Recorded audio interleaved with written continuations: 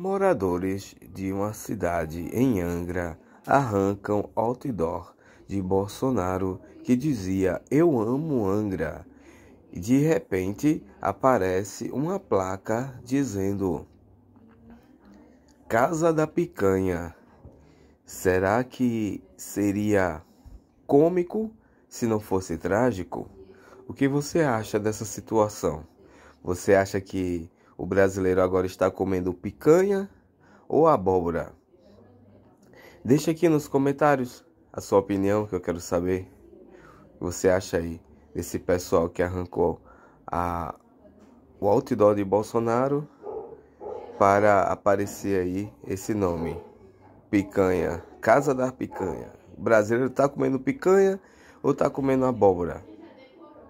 Eu quero saber, hein? Fica com Deus, um abração e até o próximo vídeo. Tchau!